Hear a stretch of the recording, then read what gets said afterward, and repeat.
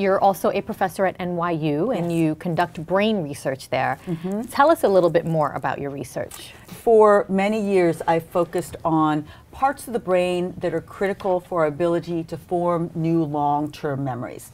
And so that has been my, my focus for um, literally the, the last 20 years. But more recently, about the last five or six years, of course, with, with the story that I just told you, I got fascinated with the effects of exercise on learning, memory, and cognition. And so the new research in my lab is focused on really two questions. The first basic question is can we understand how much, what kind, and how long an exercise regime one needs to improve these key brain functions that I noticed in myself that were improving. And, and of course, this is also in the literature mood and memory and attention and even creativity. That's the first key question.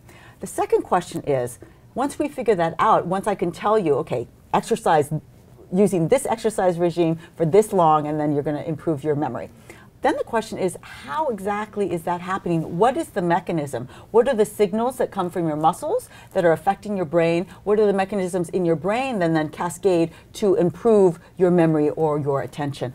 A lot of open questions there, but fascinating ones and answerable. And so we're starting down the path to answer those two categories of questions.